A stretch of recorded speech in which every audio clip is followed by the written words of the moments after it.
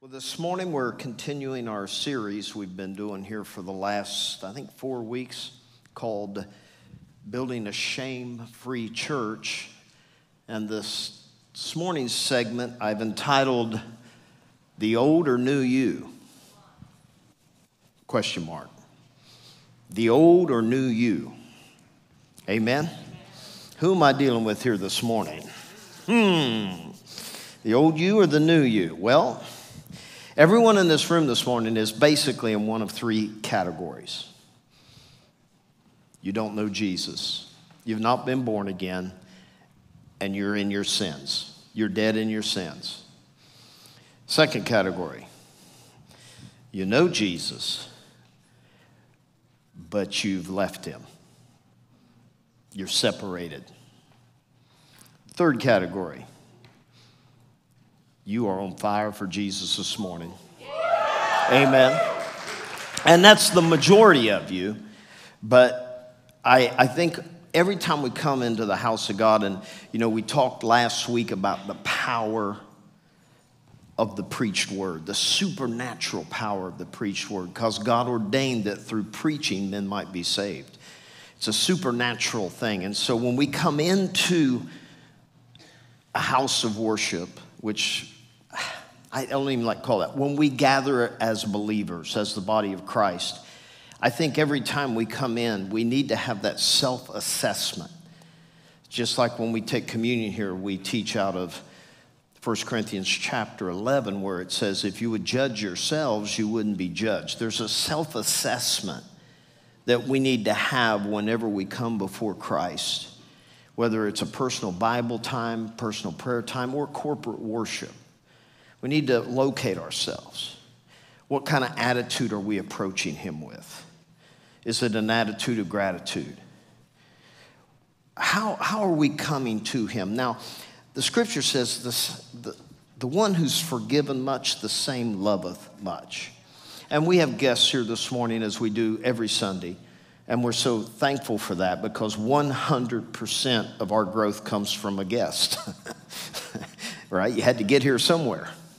And so 100% of our growth comes from people who come to this church as a guest and then choose either, I'm going to make this home or not.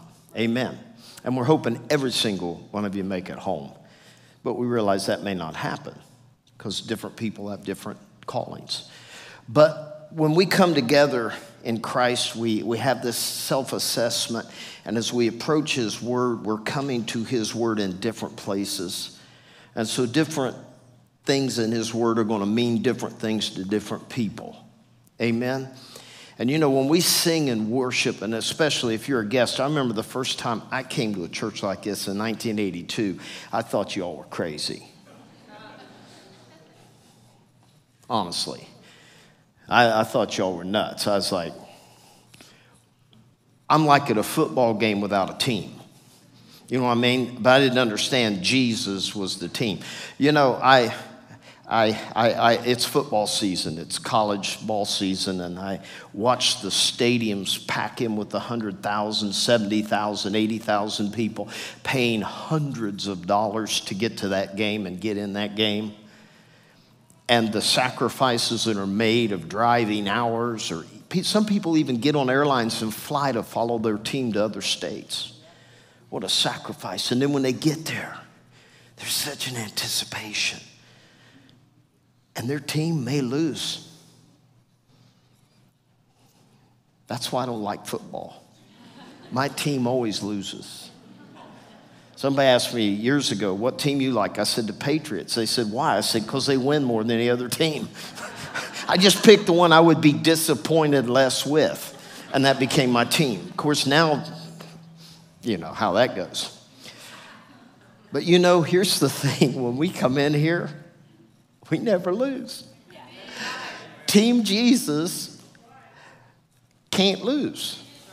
So when we get to shouting, some people say, well, this, we, y'all, y'all don't have to do all that. Oh, yeah. Because, see, our team won. And he's winning today and he's going to win tomorrow and forever once You see, when he carried his blood to the mercy seat, that blood was put on the name of David Chisholm. And that means that all my sins forever that separated me. You know, Isaiah 59 1 says it this way The Lord's hand is not shortened that he cannot save, nor is his ear heavy that it cannot hear, but your iniquities have separated you from your God, and your sins have hidden his face from you. But the blood, I mean, we've got box seats in eternity, folks, with blood. And so when we come in and we've been forgiven much, excuse us if we get loud. Excuse us if we're a little happy. Because my sins were great. And they separated me from my God. And I was headed to eternal hell. And He pardoned me from my punishment. And He set me free from all my demon friends that weren't really my friends. They impersonated friends. You ever had that one friend? You know, when I was in high school, I had this one girl that I dated on and off, and every time we went out, we got in trouble. And it was just like one day I thought, you know, me and her are not a good match because we had this way of provoking each other to go further than we should have went with sin. Amen. And man, we've got this beautiful, beautiful picture now of this new life in Christ, and we got to shout about it. We got to rejoice about it. And for those that hasn't been real yet to you, just excuse us. But when you realize what you've been saved from and who you've been saved to, it's going to get loud. It's going to get loud. Somebody's going to get happy. Somebody's going to shout. Somebody's probably going to jump. Somebody's probably going to dance. Hey! Someone may come in here dressed up like Jesus one day. Amen. Well, if you have your Bibles this one, let's go to 2 Corinthians chapter 5, verse 17. I'm going to beat this drum, and I'm hearing it now. See, I know a message is getting in you when you start preaching it back. Yeah. Amen? And I've been on this message for four weeks now, and you're starting to preach it back to me now. So I know it's getting in you. Building a shame free church. I want to build a church that no devil or even a good evangelist can talk you out of your salvation. I want you so rooted and grounded in Him that neither death, nor life, nor principality, nor angel, nor power, nothing that has been or nothing that will be, nothing shall separate you from the love of Christ. Nothing can separate you from his person. That's how deep I want this inside of all of us. Amen. And so we're going to keep beating this drum. Hallelujah. All right, 2 Corinthians 5:17. Therefore, and of course, this is a conjunction, and I would love to have time to preach all chapter 5 and chapter 4 and chapter 3 and 2 and 1 leading up this, which I encourage you to go back and read, but we will keep it in context. Therefore, if anyone is in Christ, he's a new creation. Old things have passed away. So this morning, is this the new or old you? You know, in every conversation I have with someone, I'm always trying to discern am I talking to the old or the new you? And isn't it crazy how we change identity so quickly? Sometimes all it takes is a little tribulation, a little persecution, a little discomfort, and we swap back to the old you, the old me. But like I said, we got to become a We've got to become so rooted and grounded in Him. As I said, nothing can pull us back to the old nature. Nothing. So he says, if anyone's in Christ, he's a new creation. Now, in the Greek, it's the word Ktisis, Ktisis, K T S I S. And that word means an original formation. And this is what, man, once you see this, it's over. Game over, man. You're done. You're ruined for any other. Once you see this, everything else, every other diamond loses its sparkle. All gold loses its glitter. All fame is defamed once you understand original formation. Never existing before. Old you or new you. If any man be in Christ, he's an original formation. That means who I was is gone. Colossians tells us a little further buried with him in baptism, you are raised with him into newness of life.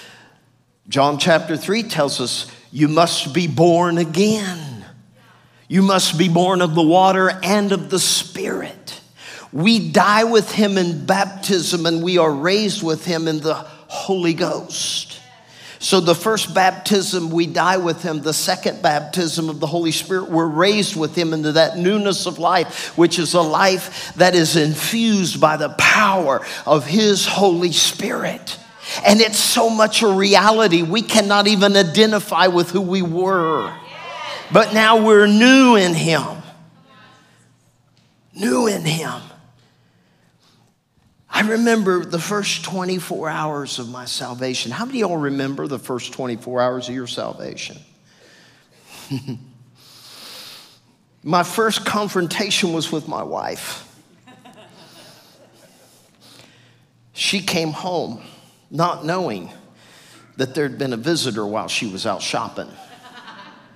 When she left, I was sitting on the couch with a bong full of marijuana and a glass of rum and Mountain Dew. When she came home, I was John the Baptist because we had a visitor. And in the just the time she had went to the shopping mall, I was born again. In my living room, on my floor, just me, God the Father, God the Son, God the Holy Ghost. And that was the day the devil moved out. And so she came home, and I'm trying to explain to her while you were gone, Jesus came. I'm born again. She's like, Great. She had no idea what that meant. And I remember the next day I went to work and I had been running around the bars at night and I used to go to strip clubs and she would come and let the air out of my car tires at two in the morning. Great marriage.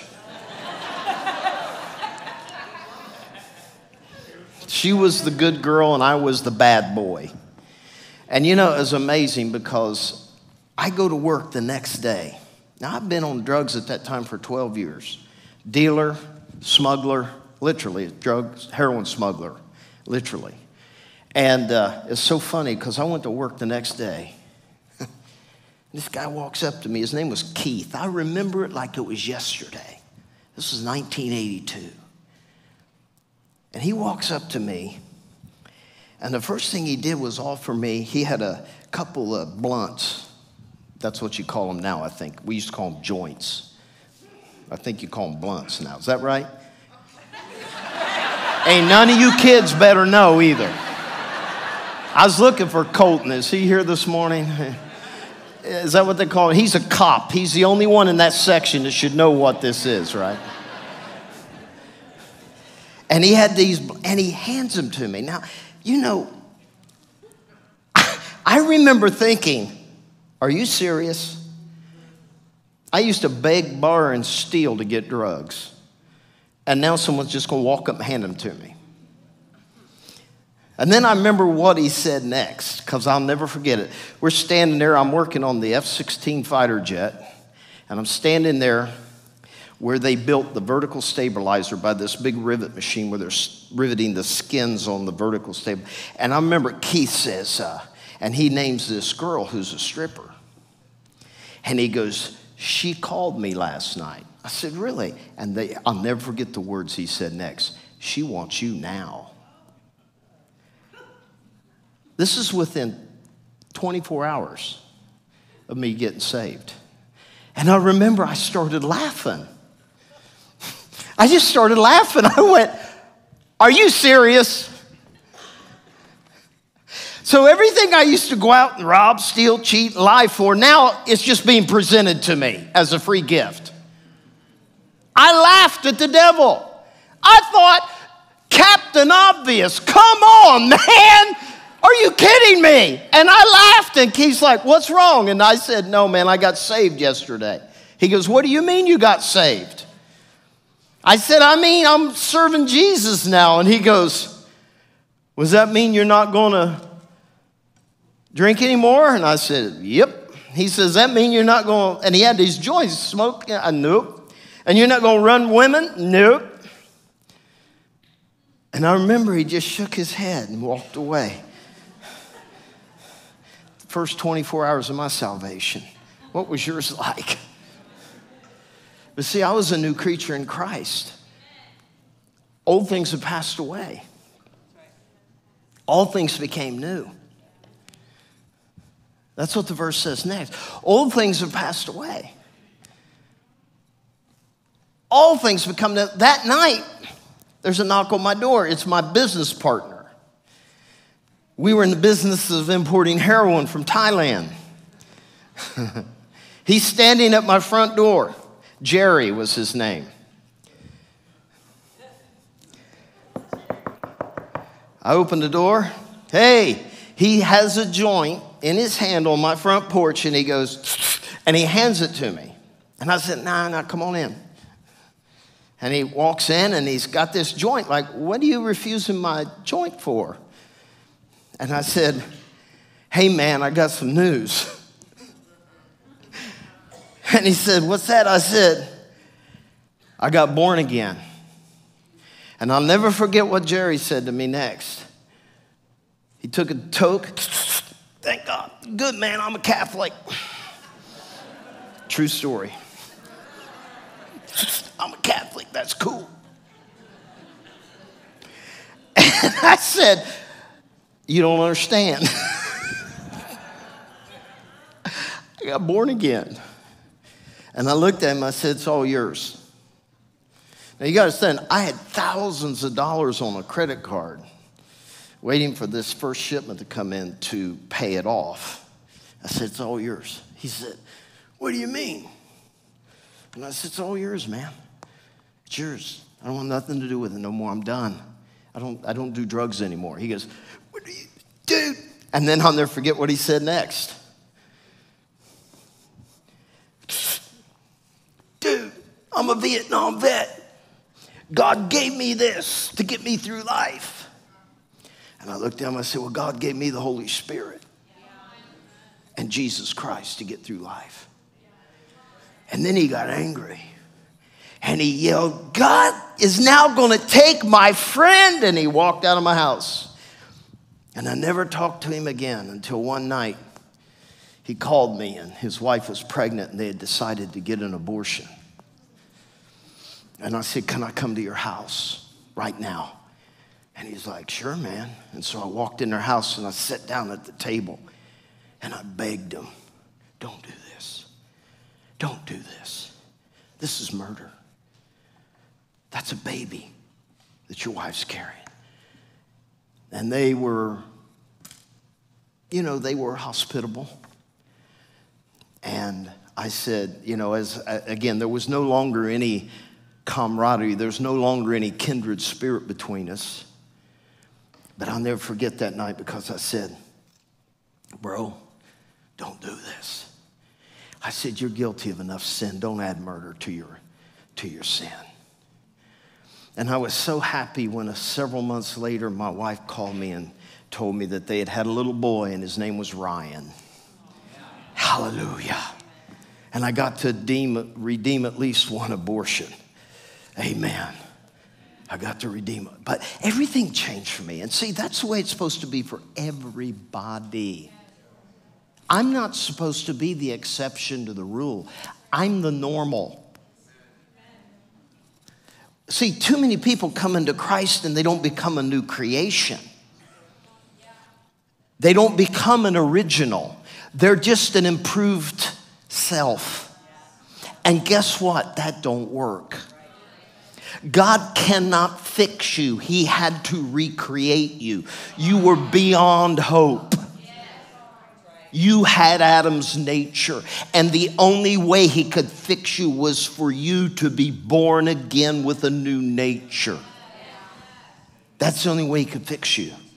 And out of that new nature, he begins from the inside to create new desire. You say, well, how do I know if I'm an original now? What are your desires telling you? Well, my desires haven't changed. I still want to do all I always wanted to do with sin. Well, then you haven't been born again. Keep striving. Ask again, because it didn't take. Because you're an original formation. The next thing it says is this it says, Old things have passed away.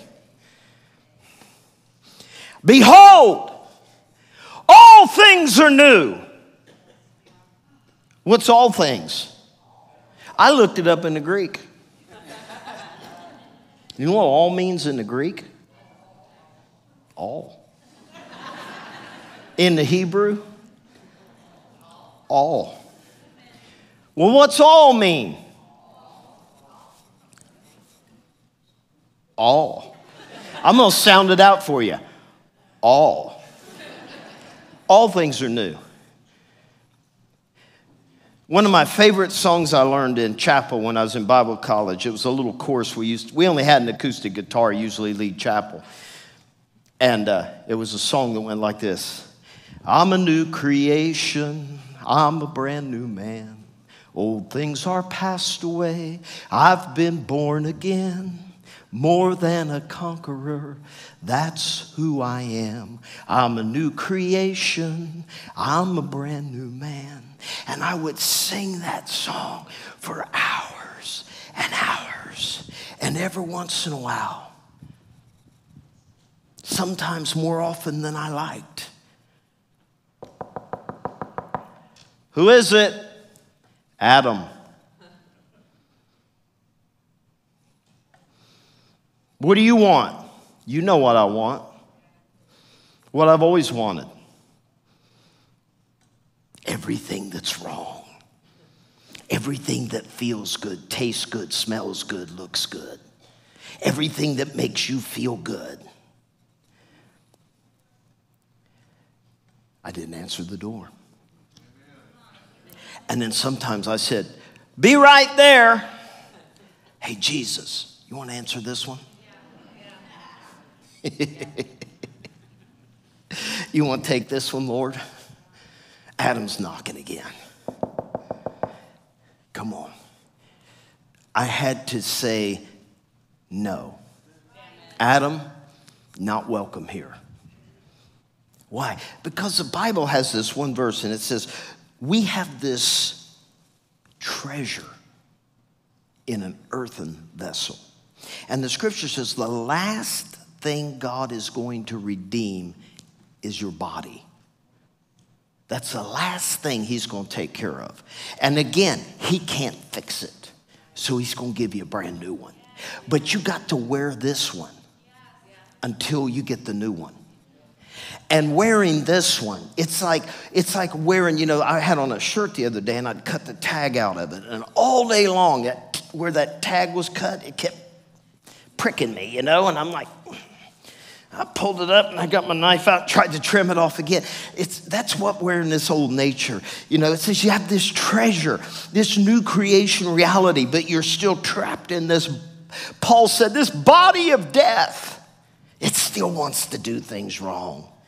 How many y'all have a body that likes to eat what it shouldn't eat? Watch what it shouldn't watch? Say what it shouldn't say? Not say what it should say. How many of y'all have that kind of body too? And so we live constantly having to walk in a reality of the newness of life while keeping Adam at bay. And that's what Paul called dying daily. Dying daily. He said, I die daily. Die to what? Somebody struck me on the cheek. I'm about to pull out my Hong Kong Phooey on them and whoa, whoa, whoa, whoa.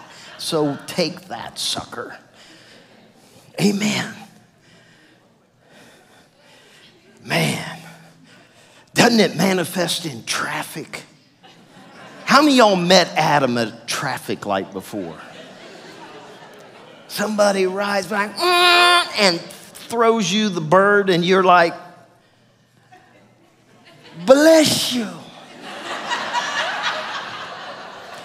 And then you speed dial Colton Angle. There's a white Camaro. He's on Emerson. He's doing 75. Get him! No. Vengeance is mine. I will repay, saith the Lord.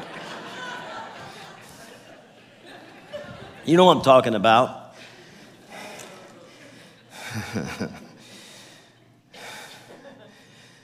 so all things have become new. Now, all things are of God. Well, how do I qualify the old me and the new me? Well, the new me, all things have to be of God. Well, what is of God? Well, you read his word and find out. Love your enemies. Well, that sure ain't the old me. Pray for them that, I love it, the way the adjectives are stacked up in the Bible, despitefully use you.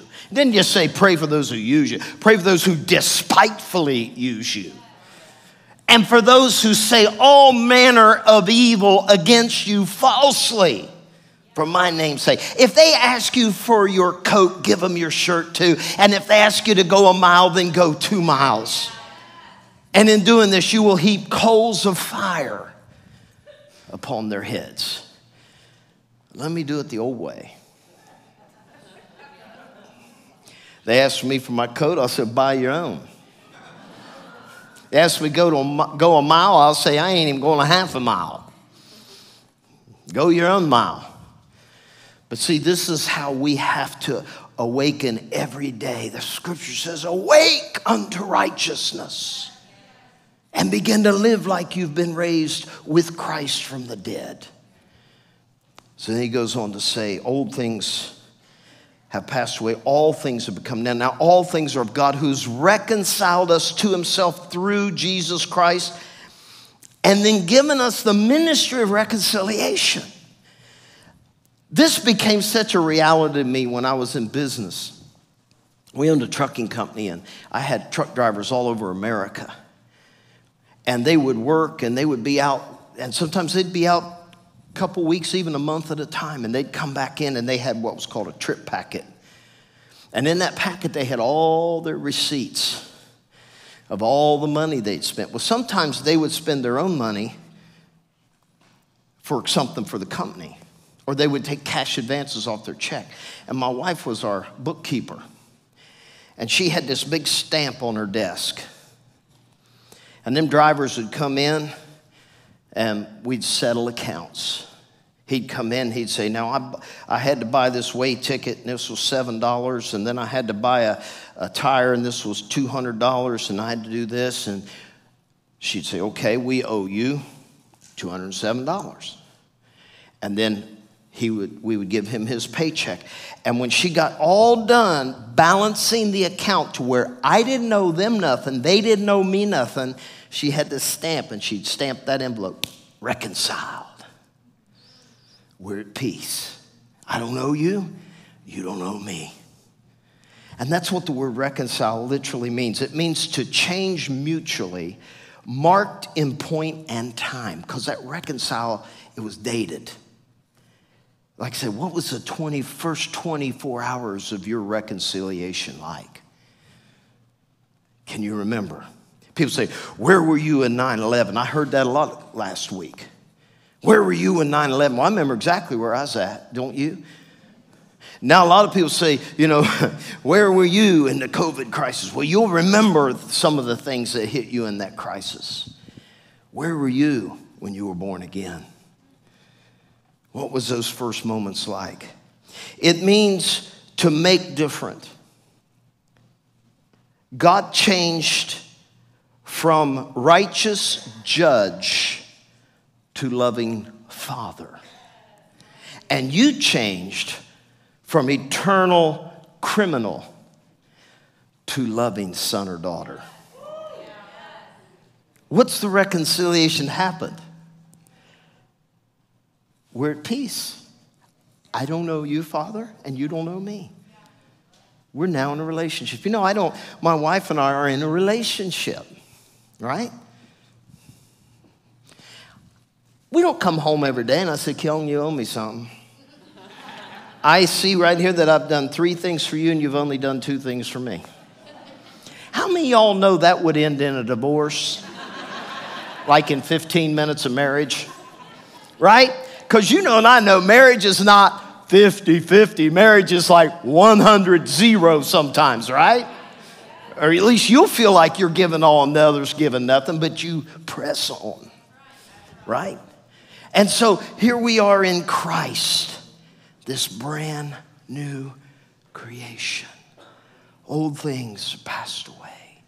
Behold, all things have become new, and all things are of God, who has reconciled us unto himself by Christ Jesus Say, why you got to get all, you know, why can't you just come to church and be calm, cool, collected, be nice? Don't make me feel awkward when you start shouting and whistling and jumping and dancing.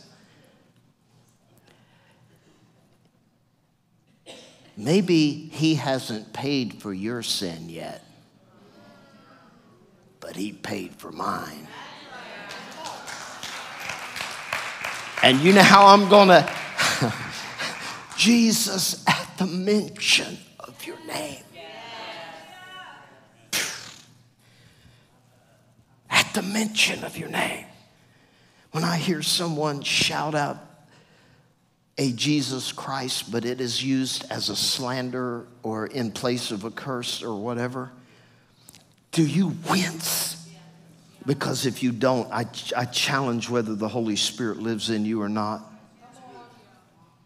Do you wince when you hear someone ask God to damn something instead of save it?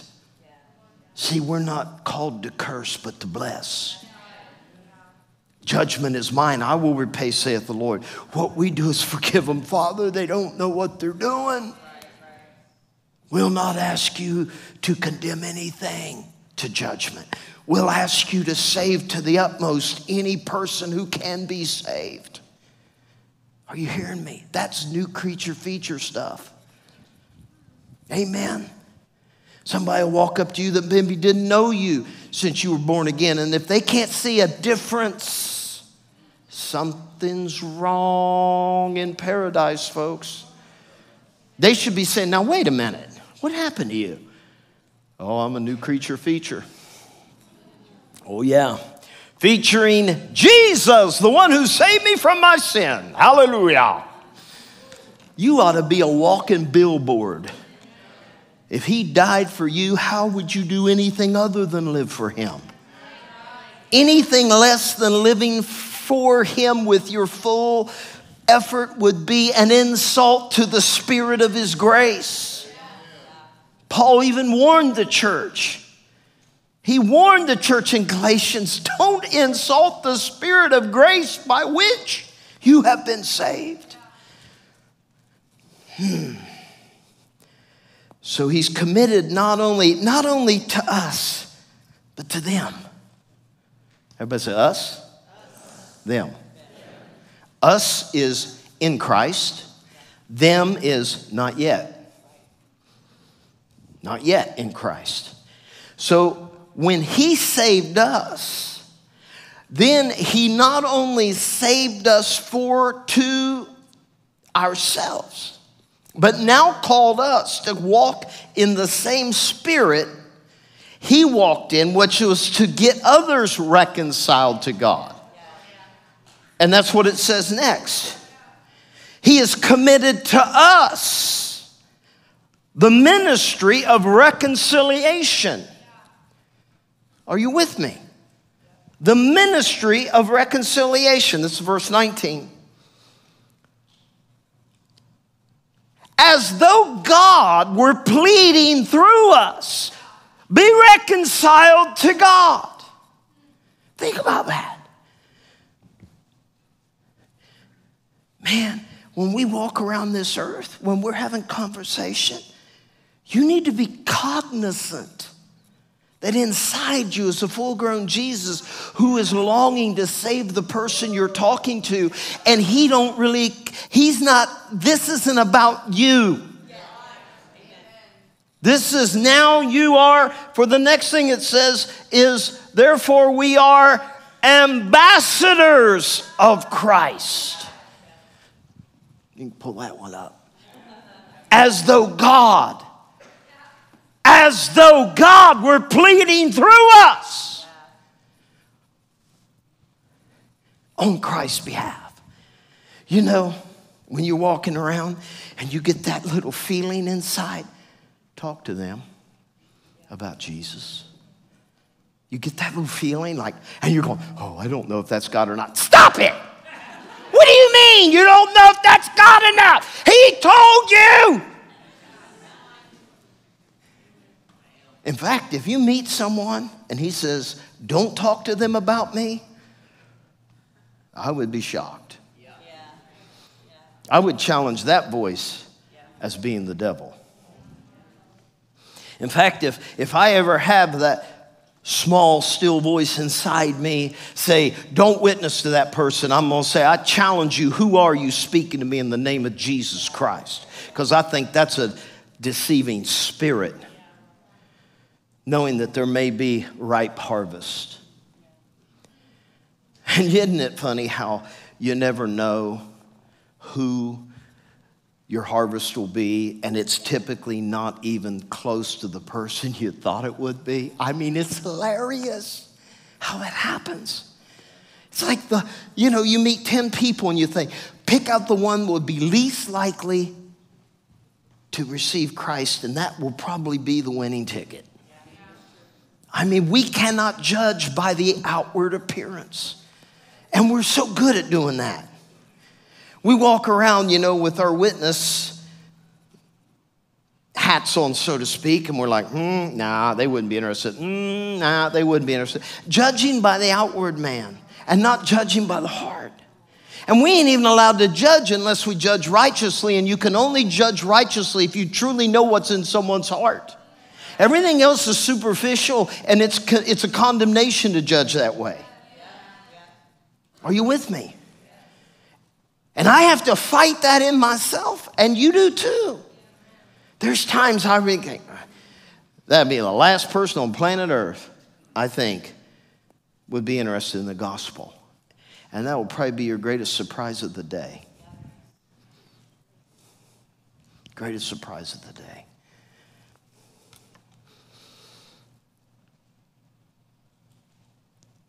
Now then, we're ambassadors for Christ. Are you commissioned? Are you commissioned?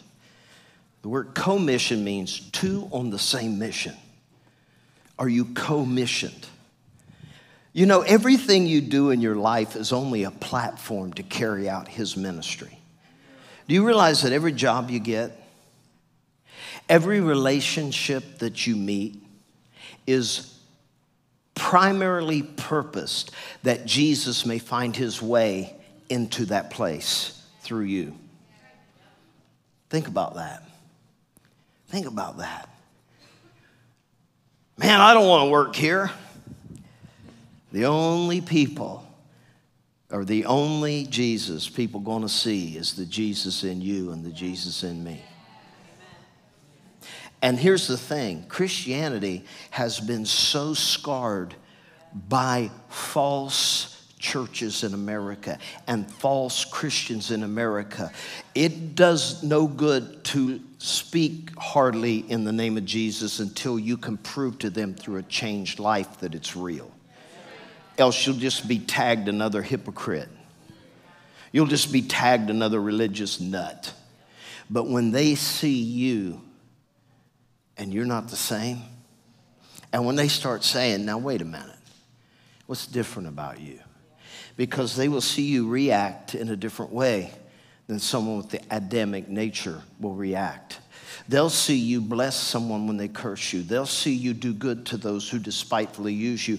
And they'll see you pray for that one who has spread all kinds of false rumors and gossip and lied about you. And then when they see you saying, well, you know, they probably got some hurt, let's pray for them. Let's pray they get reconciled to God. You know, if their spirit is that poison, let's pray for them that they can be delivered. And they'll go, What? Are you kidding? No. You mean you're going to pray for that person after they just caused you to get fired by lying about you? Yeah. That's what he did. He prayed for them as they nailed him to a cross. That was a lie, wasn't it? That was a lie, wasn't it? Didn't they pray, Father, forgive them? They don't know what they're doing. You know, sometimes in our self righteous, judgmental attitudes, we think they do know what they're doing, and we judge them as being evil when in fact they may just be broken. And by that, I don't mean that broken isn't evil, it is. All sin is evil.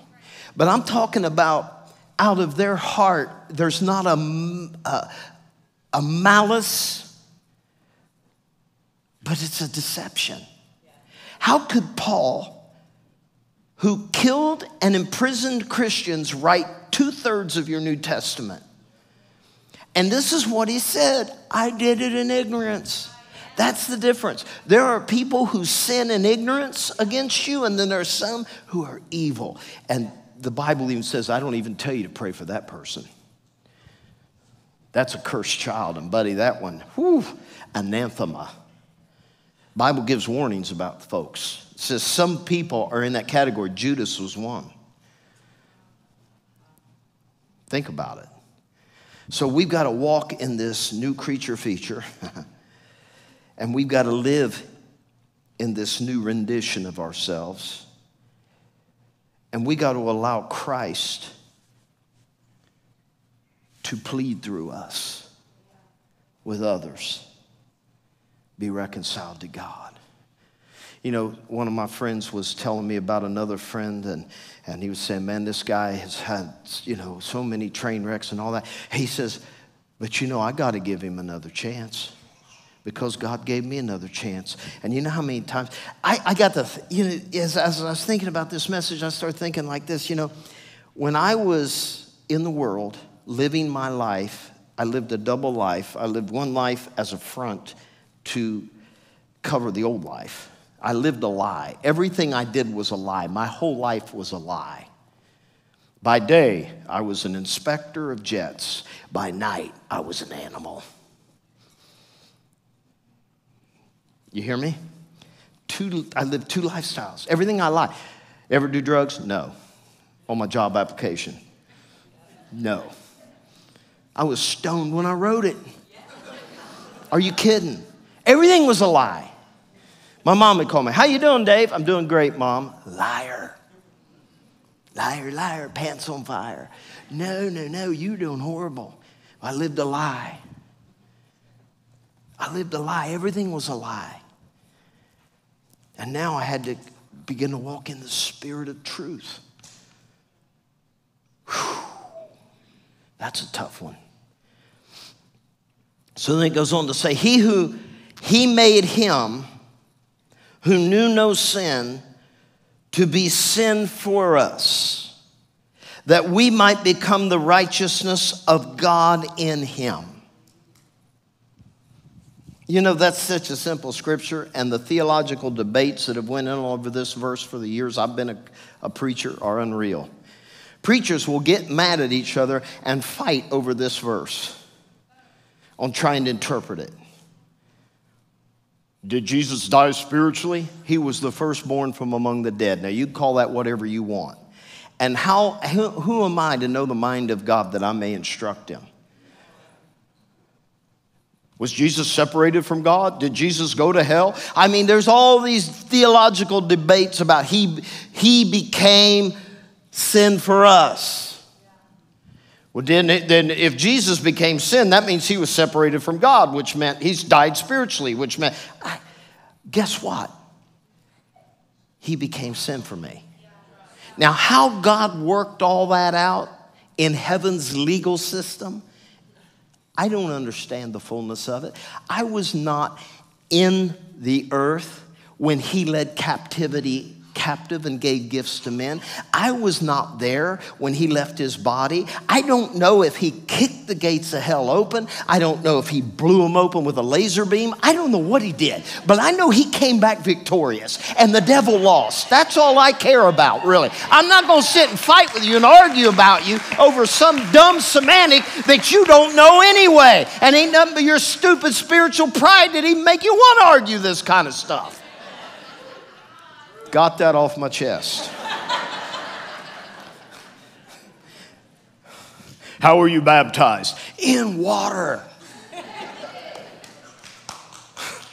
in water. That's how. What about you? Were you baptized in Kool Aid? I don't know. Well, if you weren't baptized in Jesus' name, you weren't really baptized. Please step away. You're a religious spirit that is just causing further division in the body. You don't know, and I don't know a lot of stuff. But what I know, I know because it's clear. What's clear? He paid the payment for my sin, and He gave me the gift of His righteousness. Exchange, reconciled. I don't know Him, He don't know me in the sense of I can stand before my Father innocent as though I had never sinned because of Jesus. He is the stamp that says reconciled on my heart. He's the only way I can stand boldly before the throne of grace and ask for help in a time of need. He is my all in all. One preacher said, Jesus isn't a crutch. He's the bone in my leg. Jesus is my everything. I am nothing without him. He is my righteousness and I am his love slave. And I will crawl whatever, I will do anything he asks me to do, go anywhere he asks me to go, say anything he asks me to say, regardless, welcome or unwelcome. Threat or no threat.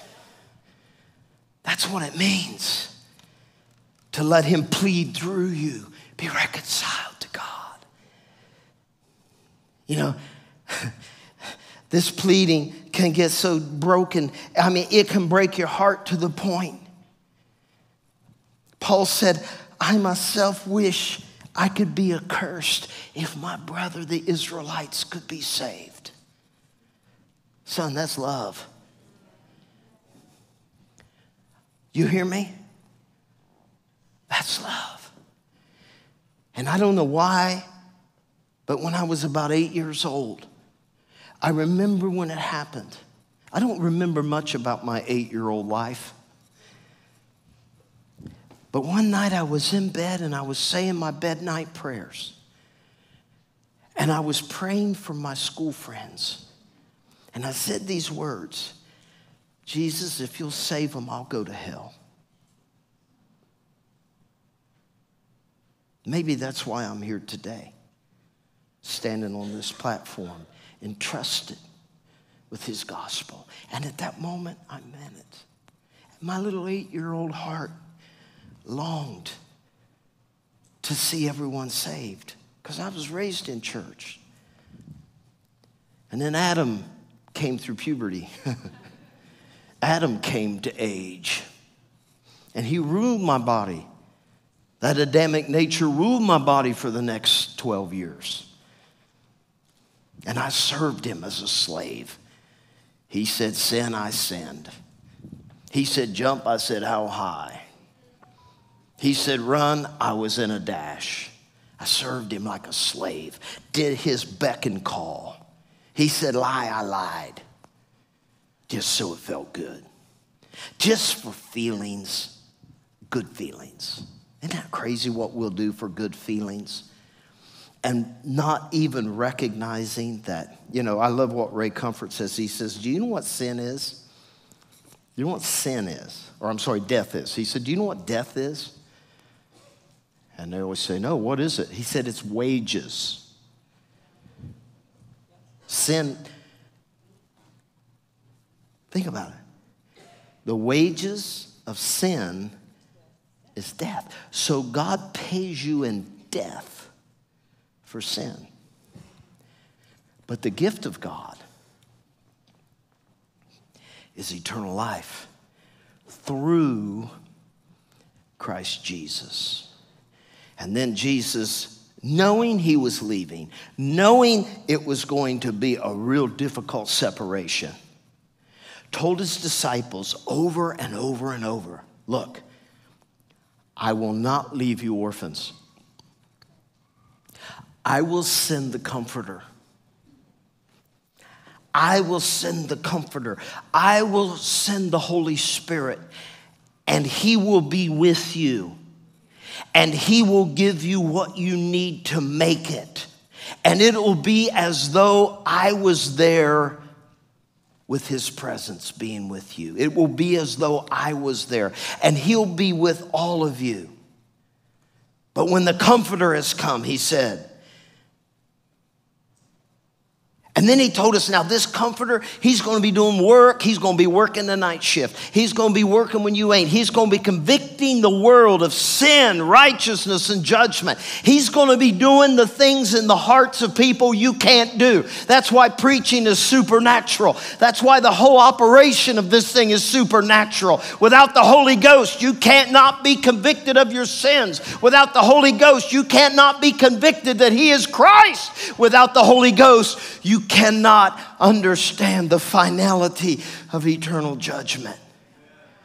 But he begins to enlighten you. He begins to work in you. He begins to make the words come alive inside of you. And, and he begins to make you understand.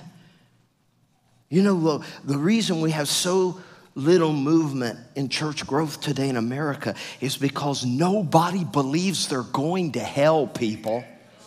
Go ask. Go ask.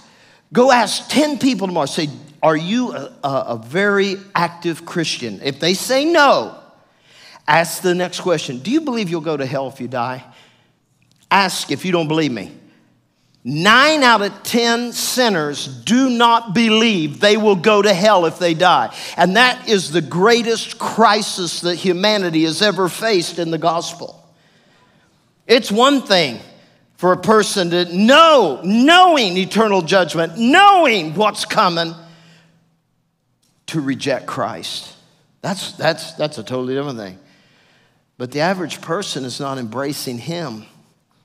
You know, it's like Ray Comfort. I love his teaching. I, I, encourage everyone to go listen to Living Waters and watch all his YouTube videos and learn. Let this evangelist teach you how to witness the gospel because he's a master at it. But he says, you know, if you were getting on, you know, maybe anybody flying this next week on a commercial airliner? Anybody? Next week? Anybody fly last week? Y'all don't go anywhere, do you? but I got one. I got one somewhere. Yeah, you were out last week. That's right. So imagine if you were getting ready. What airline did you fly with? Delta. Delta. And you were getting ready, you were walking down the jet bridge and the flight attendant offered you a parachute. What would you, you know, what would you think? Hmm, okay, you'd probably took it, stuck it under your seat or something. And if she'd have said, now you need to put this on and you need to pull these straps, especially the crotch straps. You need to pull them as tight as you can pull them. I used to parachute. Get them babies. I mean, get that harness. Now, when you sit down, you're, you're going to be all humped out from the seat. You're going to be very uncomfortable. Them straps are going to pinch you and cut the circulation off, but don't take off the parachute. But most of our flights land safely. Only one out of a 100 million actually, actually crash you know, you get about halfway through the flight. You start loosening them straps up, listening to the engines. Everything seems good. The flight attendants are all cheery and smiley. You don't see them threatening, buckling themselves against them little jump seats. Everything's cool. So then you finally say, you know what? I'll just stick this under my seat. But if you went to get on the airplane and you were told the plane's going down, here's a parachute. All of a sudden, that would become the most important thing in your life. Are you hearing me? That would be the most important thing in your life. You would check it and check it twice. And then after you sat down, you'd check it again. And then you'd probably! Flight attendant comes over. Ma'am, could you check this parachute just to make sure everything's right on it? Because you're an expert at parachutes, right? And that's a problem. Nobody's grabbing the parachute because nobody believes they're going to crash and burn. Everybody believes they're going to land safely. You know, this week I received two reports of two young men going into eternity 115, 117 in, in our community. And they didn't know. They didn't know. And then the funeral of at least one of them, I was told, I said, that kid was a devil, but he preached right into heaven. He was preached right into heaven. Do you know how many preachers are going to stand before God for lying? As they preach every human being that dies into heaven, when they had no relationship, no reconciliation with Jesus Christ, they didn't have the stamp. They still owed God. And He's going to pay them in death. And then He's going to pay them in eternal judgment. But if you don't believe that, there's no threat to your security this morning. If you believe you're just going to die and go into nothingness, there's no, no real reason, no real threat. Why wear a parachute? Why be discomforted? Why in the world would you do that? I'm a good person. Are you now? How many in here have ever given someone the good person test? Lift your hand. Okay, my goal this week is to get every hand lifted next Sunday.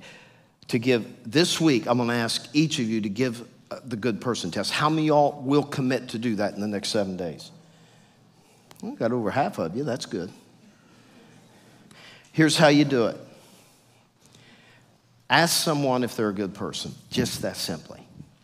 Just walk up and say, Hey, can I ask you a question? I'm doing a survey. I'm just surveying. Can I ask you a question? Yeah, sure, man. Are you a good person? Now, 99 out of 100 are going to answer, Yeah, I'm, I think I'm a pretty good person. I'm all right. All right. All right. And then when they say yes in any form, then I want you to ask this question. And if you don't know the Ten Commandments, you can keep a cheat sheet with you. Just begin to go through commandments. Say, did you ever lie? Did you ever tell a lie? Again, who's going to say no? And then if they say no, say, even a little one? Bitty Like told your wife those jeans don't make you look fat? Lie. Sometimes a little humor will go a long way. Itty bitty lie. Told your husband, I think you look better with no hair. Liar! Anyway, I'm just joking. Or walked up to me and said, You're really not that short. Liar! you know what I'm saying? We tell lies. And then if they say, Yeah, I've lied. So what's that make you? when they when liar comes across their own lips watch their countenance change because see the, the bible says the law is the schoolmaster to bring us to christ they ain't been to grade school yet they still think they're angelic they still think their sin is not separating them from god they do not believe that their sin is sending them to an eternal hell so therefore there's no crisis of salvation because everybody's saved. All dogs go to heaven. This is a Disney movie we're living in, right? And then when they say, okay, I've told a lie, what's that make you? Make them say it. If they say well, someone has told a lie and say, what do you call someone who lies? And they'll say, Well, I only lied once. Say, Now, wait a minute. You only lied once? Come on now. You really only lied once? Okay, maybe a couple times. So, what's that make you? Okay, a liar. And then ask him this. If it's a man, ask him, say, When's the last time you looked at pornography? Well, that's a real easy one in this culture. Most guys will say, Oh, a couple weeks ago, you liar. You're not only a liar, now you're a lying adulterer because you've looked at a woman with lust in your heart. And then ask them, You ever steal anything? You ever steal anything? And they're going to answer yes and say, Now, what's that make you? And they're going to say at this point, A thief? No, you're a lying, adulterous thief. And you tell me you're a good person. What are you going to say before the perfect God when you stand before Him? What is your payment for your sins? Now we have conviction because we have truth. And without the Spirit of truth and the Word of God, there will never be a conviction because court has not started yet. Most people are not living as though they're in a courtroom pleading for an eternal soul. Most people are living as though they've been pardoned, but they have no document. They have no covenant. They have no pardon. But they're living as though they do. And if you don't think Christ wants this kind of witnessing through you to them, then you've misunderstood him because he did all this to save not just you, but the next person too. He did all this, and now he said, You are my ambassadors. You are my ambassadors. And then sooner or later, one's going to say, Well, are you saying you're perfect? Your answer is, in Jesus Christ, yes, but I have not of my own righteousness. See, like you, I was a sinner, condemned, judged, going to eternal hell, but I've been pardoned now because another paid my price. And in God's legal system, that works. I had an attorney one time. I was, when we started the church up Columbus, I was boogieing up 270 one day and I got a little out of control and I got a speeding ticket. And we had an attorney in the church. And uh, I walked up to him. I said, Hey, brother, could you help a brother out? I said, Could you plead this down for me? And I handed him my ticket. He goes, Oh, no, man, you weren't speeding in Gahanna. He said, Dude, don't ever speak to Hannah. They're like, they're like the devil, they don't forgive, you know. But he said, I'll see what I can do. And so a couple weeks later, I saw him. I said, Hey, man, uh, how about that ticket? He said, You need to replace that license plate bulb. I said, License plate bulb? Yeah, the one that's burnt out you got a ticket for? Wink, wink. I said, Oh, okay. Yeah, I'm going to get right on that. And then he said these words to me. I said, Well, how much is the fine for that? He said, I already paid it. I said, You paid my fine? He said, Don't worry about it. I took care of it. See, your fine's been paid if Jesus is your attorney. And even though what you did was wrong, he made it go away.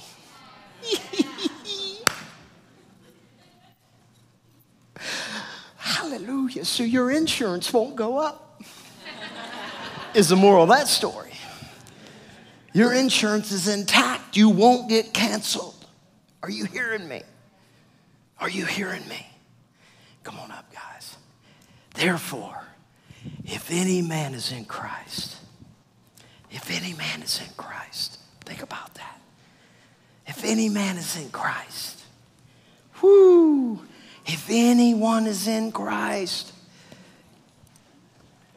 As the worship team's coming up, I'm going to give one more illustration that I want to really drive this point home. Hey, Brooke, would you stand up? Would you tell the congregation your name?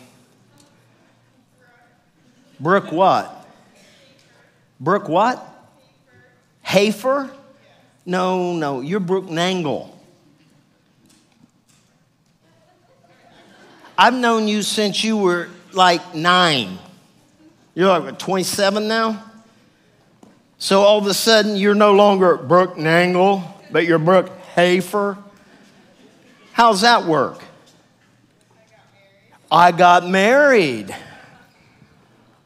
Oh, really? Well, where's your husband? But he's not here. We're going to give him, he's actually in the military doing his drill week, but just so you don't go judging Wes. Sending his wife to church alone again. No, I'm just kidding.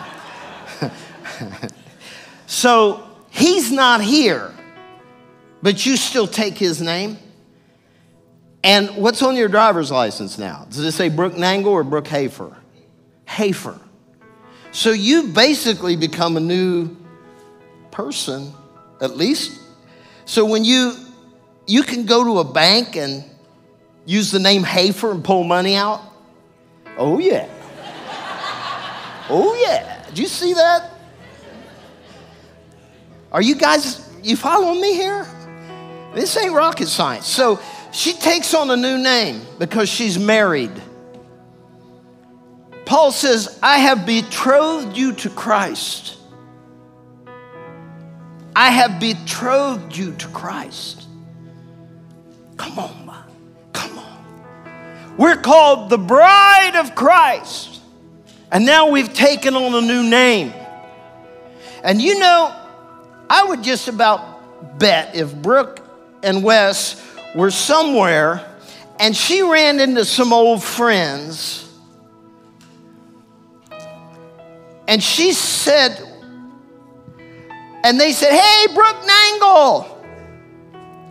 And she didn't say, Well, it's Hafer now. How would that make Wes feel? If she refused to take on the identity of being one with him. Come on, somebody. But she held on to that old identity. You know, it's always weird when a woman marries a man and keeps her own last name. And usually they only do it because of notoriety or fame or money. Come on. Then they try to take two names because they don't want to lose that branding, right? But it ain't right. And I've done probably 200 weddings in my life. And you know, every time I say, Ladies and gentlemen, I'd like to present to you Mr and Mrs. Wes Hafer. The two become one flesh. The two become, and the man is the head of that union, Ephesians 5, for the rest of their lives. The man is the head of that union, therefore, his name. And when you are presented to someone, don't you dare walk up with your old last name. I've been born again, I've been married and I'm not ashamed of my last name. Are you hearing me? I am not ashamed of the gospel of Jesus Christ, for it is the power unto God for salvation to him who believes. I am not ashamed. I am not ashamed. Stand with me. Hallelujah.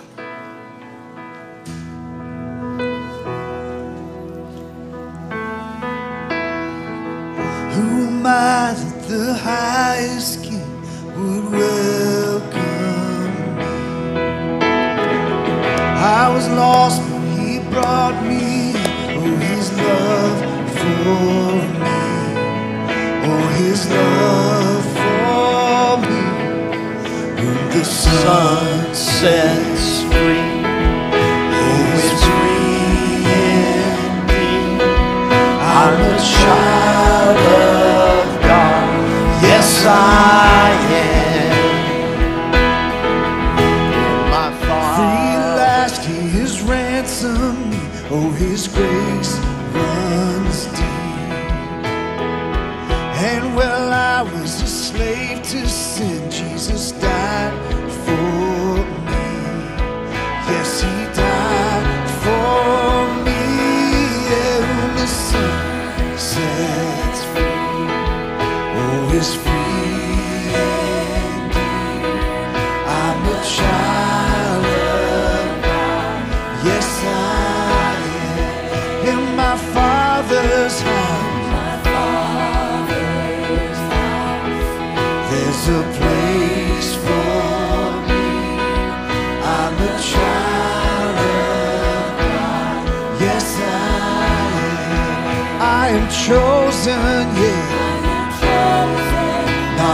I am who you say I am. You are for me, not against me. I am who you say I am. I am chosen, not forsaken.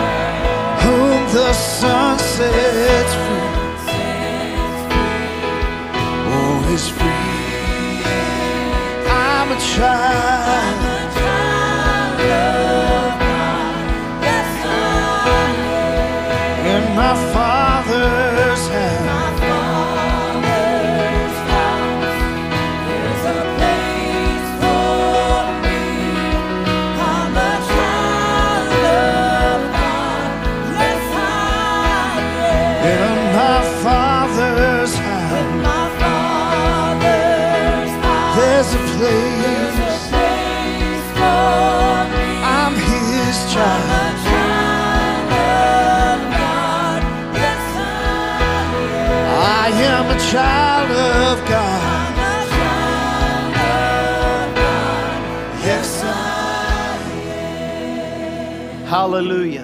Hallelujah. Hallelujah. Man, when Jesus looked at his disciples and said, Freely you have received, now freely give. They all had that old identity, new identity thing going on. They knew. How could we deny anyone from freedom when we he knew us before we were in him? He knew us. He knew everything about us. But yet he freely gave himself. Now how can I not freely give myself? Amen. Amen.